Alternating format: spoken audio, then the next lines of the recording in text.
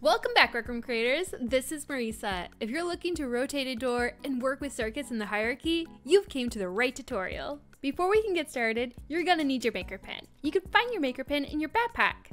Let's get started. Here are all the circuits you're gonna need. First, you're gonna need a rotator. This is used to rotate the door. Note, a rotator is a container, which we'll cover a bit later. Next, you're gonna need an interaction volume. When a player grabs the door, it will open the door. Next, we're going to need a bool variable. This stores values in the chip for later use. For the door, we need to store whether it's open or closed. Next, we're going to need a not chip. The not chip takes the bool input and returns the opposite state. Each interaction flips it, so if the door is open, which is true, it will close, which is false, and vice versa. Next, we're going to need an if chip. This branches the extension based on the state of that value, if the door is open or if it is closed. Last, we're going to need two rotator set rotation chips. This sets the rotator to a specific rotation. We have two of these, one for closed door at 0 degrees and one for an open door at 90 degrees.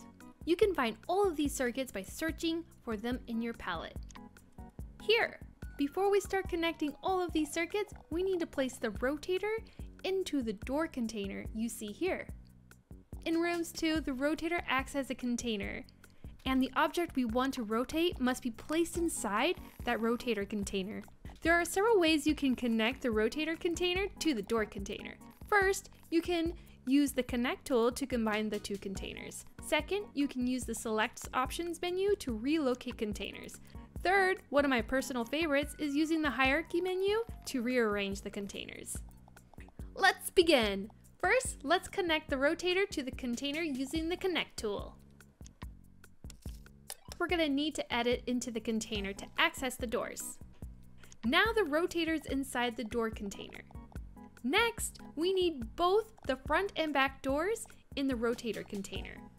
We can move them using the hierarchy menu or the select tool. Let's start with the select tool.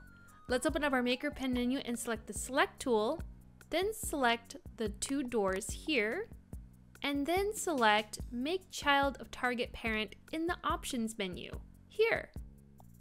Alright, now let's select the item we want to be the parent of the door. In this case, it's the rotator. This means the door containers will become children of the rotator container. Bam, done. Now that we're inside the rotator container, let's edit out one level and attempt to rotate the rotator. Looks like the door is attached. This is because the door is in the rotator. Now let's check the hierarchy to see how this is set up. We have a parent container, Sandor tutorial. The child containers is the rotator for the Sandor tutorial, and there are two other child containers within the rotator. To enable rotation when the door is grabbed, we'll need an interaction volume that moves with the door. Therefore, the interaction volume must be placed inside the rotator container. Let's edit into the rotator and add an interaction volume.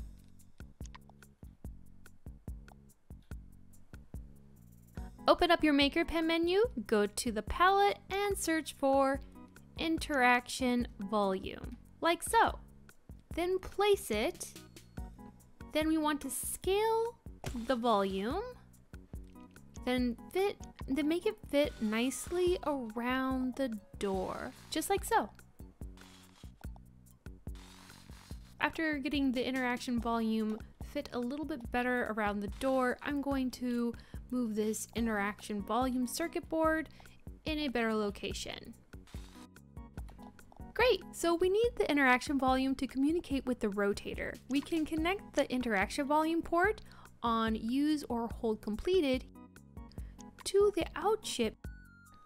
This will pipe that to the rotator in the container out of this one. This port here is an execution. So when connecting the interaction volume circuit board from the on use or hold completed port to the target area, this will open up another port here, like so. Let's give this port a name by going to our configure tool and then selecting on the out port under target hit outputs over in this area. Let's name our new port to interaction volume, just to be more organized. You don't have to do this, but it helps a lot. Now you can see that we have our interaction volume board connected to the rotator output chip, which will pass the execution of the interaction volume out through the rotator's board. Let's back out of the rotator container and then now see that name on the rotator object board as well. Now we need to connect all our circuits, but we have those at the room level. We can either recreate them here in this container or use our copy paste tool to paste them in this container. Let's set it out and copy those circuits. Select these circuits and copy them. Edit back into the rotator container and paste those circuits, like so.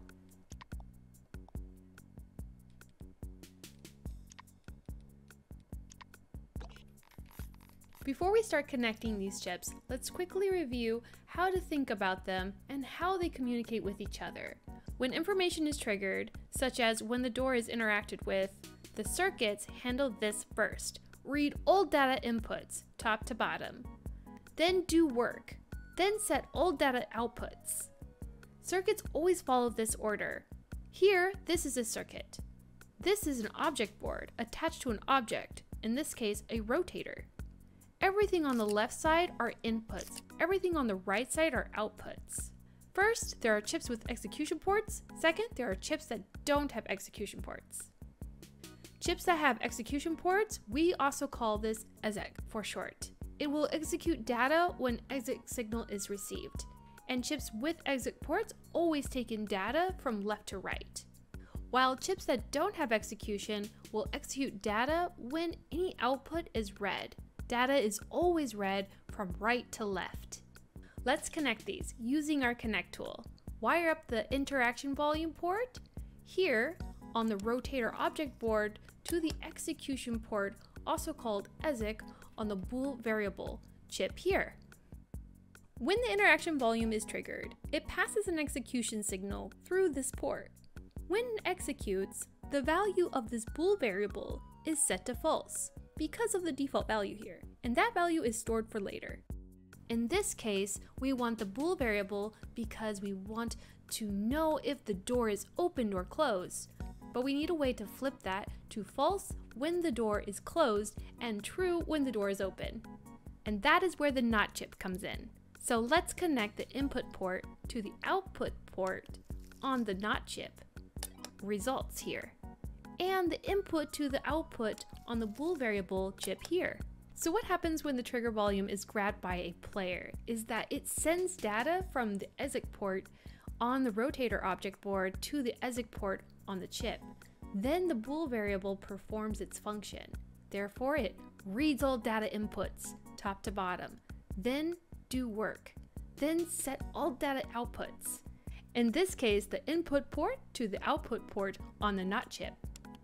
So the bool variable chip is reading the result and the NOT chip is reading data from right to left and that value flips true or false, which will then be ported to the output port where the bool variable ESC that information to the if chip. The if chip runs an ESC, elevates the bool input condition, and branches the execution based on the state of that variable. If the condition is true, it runs then. If the condition is false, it runs else. So this is because we need to know the rotation of the door, whether it's open or closed.